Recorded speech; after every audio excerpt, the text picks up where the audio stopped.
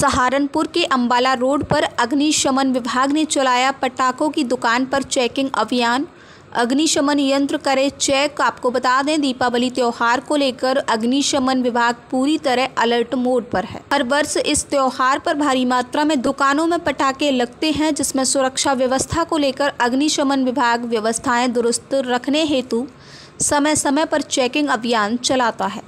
जिसको लेकर आज अंबाला रोड पर भी यह चेकिंग अभियान चलाया गया। इस संबंध में सीएफओ तेजवीर सिंह द्वारा संबंधित पत्रकारों को जानकारी दी गई। जी जी।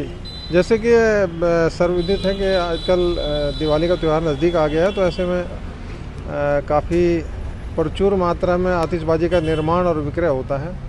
तो ऐसे में कोई घटना ना हो पाए, सभी दुकानों की, लाइसेंसियों की चेकिंग हम लोग कर रहे हैं। टीम के साथ लगातार कर रहे हैं। उसमें मेन रूप से यही देखना है कि बिजली का कनेक्शन बाहर से स्विच ऑन ऑफ़ है कि नहीं है, बिजली का मीटर बाहर है कि नहीं है। अग्निशमन के पर्याप्त उपाय उन्होंने किए हैं कि नहीं? कई बार अग्निशमन के उपाय कर लेते हैं, लेकिन उनको फायर एक्सटिंग्विशर चलाना ही नहीं आता है। तो हम सब लोग जिसको चलाना नहीं और उसको ट्रेनिंग भी दे रहे हैं और बाकी सबकी टेस्टिंग कर रहे हैं कि वो कितने सक्षम हैं, अग्नि सुरक्षा व्यवस्थाएँ सब ऑपरेट करने में।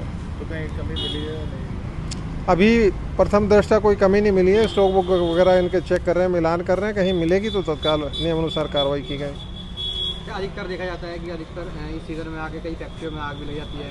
तो उसको लेकर किस तरह की तैयारी आपकी तरफ़ से की जा रही है? हमने सभी अपने जितने भी अग्निशमन वाहन हैं ज़िले के सभी अलर्ट मोड पर रखे हुए हैं। सभी अग्निशमन कर्मी अलर्ट मोड पर रखे गए हैं।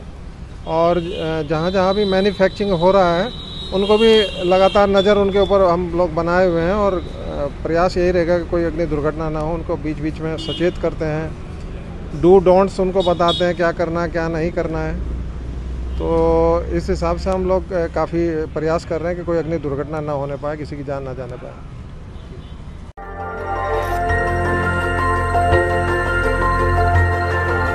देखते रहिए डीबी भारती समाचार, नज़र हर खबर पर।